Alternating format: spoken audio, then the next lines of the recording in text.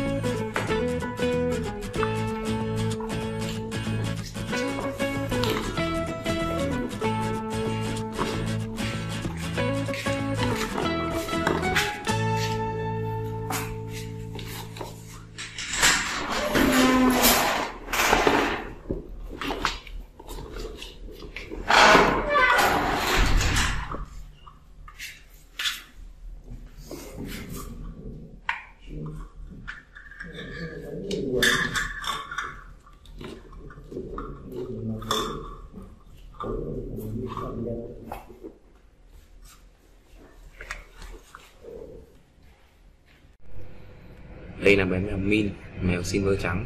Nó đang nhìn thấy gì đấy, nó nhìn lên con cóc ở đây. Min nhìn lên con cóc.